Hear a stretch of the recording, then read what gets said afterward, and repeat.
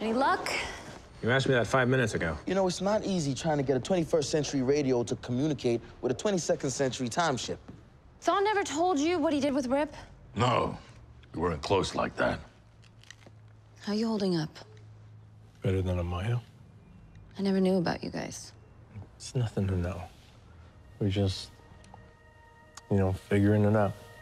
I figured it out. We've been assuming that Waverider's broadcasting using a quantum frequency, but But only if the quad band antenna array was in alignment. Ray, you are a genius. guess I am. I kind of forgot what it was like. So, can you communicate with Rip or what? Sara? Sara, is that you? Good job, guys. Good job. We didn't do anything yet. Rip? Yes, Dr. Palmer, I've honed in on your location.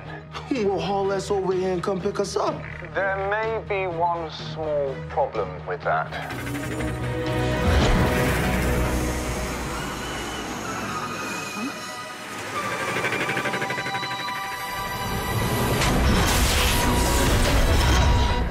Look, it's the teeny-weeny Englishman.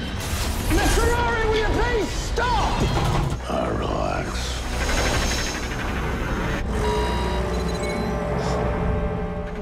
Would Thawne use the Spear of Destiny to shrink you? Uh, I don't believe he did. I'm, I'm assuming that he used Dr. Palmer's exosuit. Oh, well then, he must still have it in his lab. We gotta steal it back and then we can unshrink the ship. And then what? Rip, we have a plan to put reality back as it was.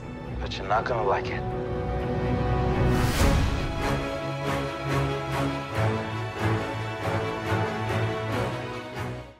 Thanks for watching. Subscribe to our channel to see more from DC's Legends of Tomorrow.